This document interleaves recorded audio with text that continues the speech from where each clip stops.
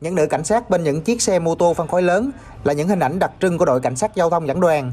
Để có thể điều khiển thành thục những chiếc xe 125 phân khối này, các nữ cảnh sát đã phải trải qua hơn 2 tuần tập huấn, điều khiển xe vượt các chướng ngại vật, thực hiện quan sát, nhiều chiều, kết hợp tuần tra dẫn đoàn, tăng tốc, xử lý tình huống thực tế khi làm nhiệm vụ.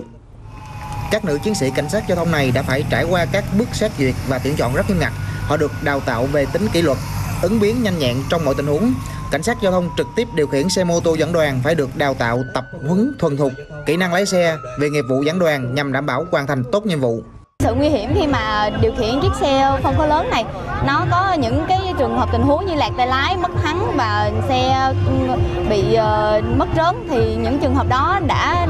uh, làm cho chị em chúng tôi có một chút dao động nhưng mà nhờ được sự uh, động viên rất là lớn của các đồng nghiệp nam chúng tôi đã khắc phục được nó rất là tốt và chúng tôi hiện giờ chúng tôi đã có thể sẵn sàng để làm chủ những con người sắt mạnh mẽ này theo Phó Cục trưởng Cục Cảnh sát Giao thông Thiếu tướng Trần Quốc Trung, đội nữ Cảnh sát Giao thông dẫn đoàn thể hiện được hình ảnh đặc trưng của lực lượng Cảnh sát Giao thông Thành phố Hồ Chí Minh. Sau khi được duyệt đội hình và chính thức đưa vào thực thi nhiệm vụ, 58 nữ chiến sĩ này sẽ được phân thành nhiều tổ và thay phiên nhau làm nhiệm vụ dẫn đoàn, lãnh đạo, đảng, nhà nước, khách quốc tế tới thăm và làm việc đi qua địa bàn thành phố.